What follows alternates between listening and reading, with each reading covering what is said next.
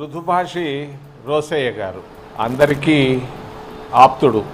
అందరినీ కలుపుకొని ముందు పోగలిగినటువంటి నాయకుడు.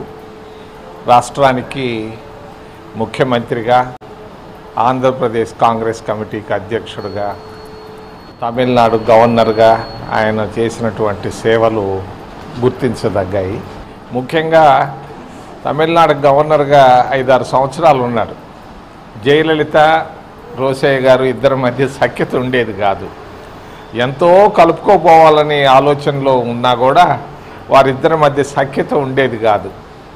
మరి నేను వెళ్ళినప్పుడల్లా జయలలిత చెప్పేది మీ గవర్నరు మంచివాడు కానీ నాకు ఏం సహాయం చేయటం లేదని.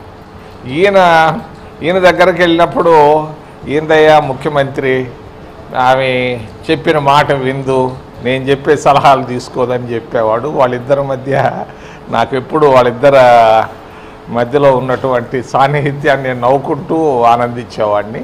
ఇద్దరు చాలా తెలివిగా గవర్నర్గా ముఖ్యమంత్రిగా ఉన్నారు. ఈ రాష్ట్రంలో కూడా దాదాపు ఒక సంవత్సరం పైగానే ముఖ్యమంత్రిగా ఉన్నాడు. కాంగ్రెస్ నాయకుడు మంచి నాయకుడు మరి నాకు చాలా ఆప్తుడు. ఆయన మృతికి నేను ప్రగాఢ సానుభూతిని తెలియజేస్తూ ఆయన ఆత్మ ఆత్మకు శాంతి చేకూర్చాలని నేను కోరుకుంటూ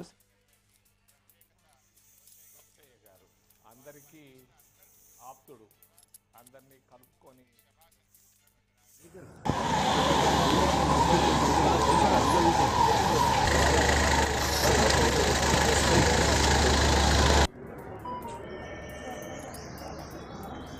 हाँ